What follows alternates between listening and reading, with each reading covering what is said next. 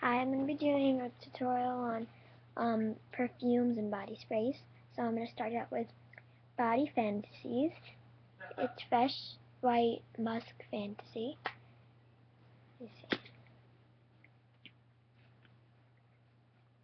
It smells very nice too.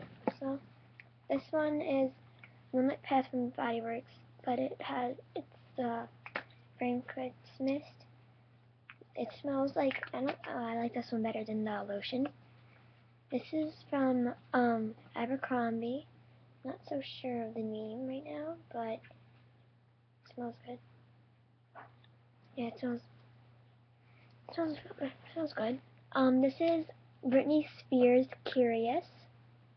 My perfume, I have like some lotions on it too.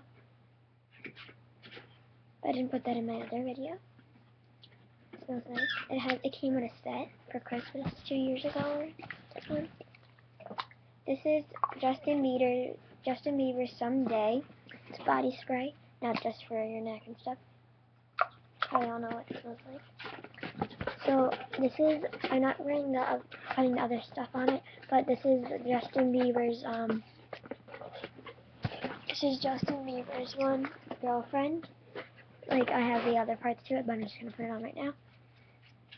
Yeah, it smells, I like this one a little better than the other one, but you probably know what the case looks like, but it looks really cool.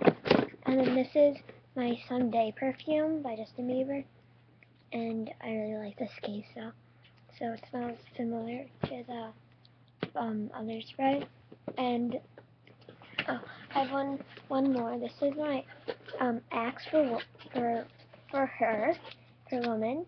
It's art architecture and just like anywhere like say you're going to gym and you're kind of sweaty or stuff you just put it on and it just works.